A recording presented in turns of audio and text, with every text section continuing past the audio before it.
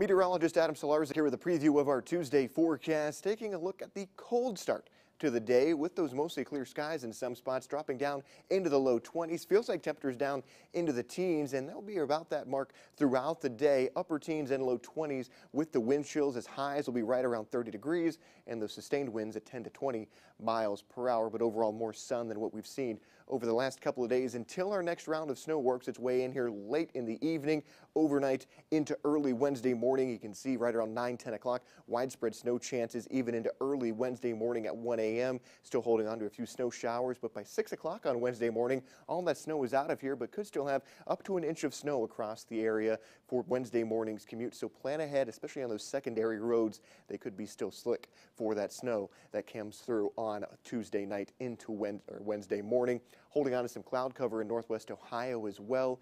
And then we see some mostly sunny skies for Wednesday afternoon, but temperatures still on the cold side of things until we get into Thursday where we have a quick warm up in store. Here's a look at the exclusive 10-day forecast. 30 degrees on Wednesday, 41 on Thursday, quickly dropping back down to 30 on Friday, 28 on Saturday, 31 on Sunday, a rain snow mix chance the following Monday with a high of 37, then dropping down to 29 with snow showers in the morning.